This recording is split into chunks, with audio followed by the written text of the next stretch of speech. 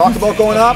Yep, you can reach forward, grab that body. Up, up, up, up, up. We're practicing high risk response tactics for an active shooter to help us prepare for situations that happen, just to better prepare our police officers to respond to incidents that may happen on base at mass gathering locations like a school, uh, any gymnasium, that type of facility. That's a lot of training that we haven't done before. It's brand new basically. That was real, as real as it can get, because that's where we would be responding to if there was an active shooter. That's right, claps right. Got to see the layout, see different obstacles that you could encounter, and I find this training helpful because it's different from just sitting in front of a PowerPoint and learning it. We're actually out here getting to do it.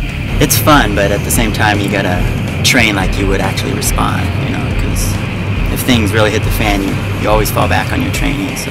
Contact front, contact front! We will now take what we have learned from PACAF and we're going to disseminate to down to them. We're going to filter all of our information that we just got and train them to be comfortable to actually make that, you know, life or death decision, go into a building and save lives. My name is Staff Sergeant Dieters. I'm Staff Sergeant Bradley. I'm Staff Sergeant T. Honan. I am my nation's sword and shield. And I defend my country with my life. And I am a warrior.